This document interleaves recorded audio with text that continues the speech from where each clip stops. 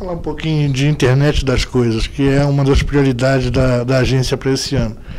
É, como é que o senhor vê é, essa, essa nova tecnologia entrando no mercado, é, em função do que já está acontecendo no, no mundo?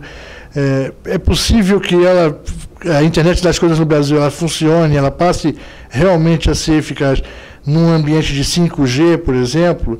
Ou o que está faltando para o governo completar a sua regulamentação e, e, e, começar realmente a deixar que o mercado opere, flua nesse, nessa direção? Há uma, uma sequência de dependências que ainda precisam da política, né? E a política ela precisa ser então disposta pelo poder executivo.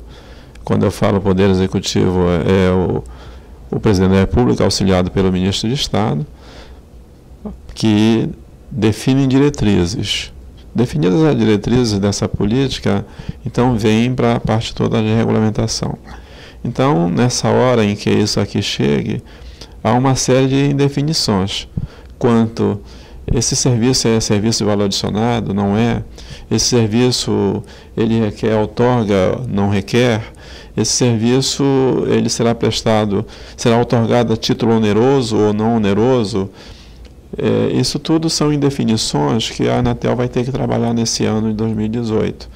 Então, o aguardo é, de dar diretrizes para isso aí tudo poder ser então trabalhado é, ainda há um bom tempo, ou seja, a, a questão em toda de regulação de todo esse ambiente, primeiro das diretrizes na política, é prevista para o primeiro semestre de 2018.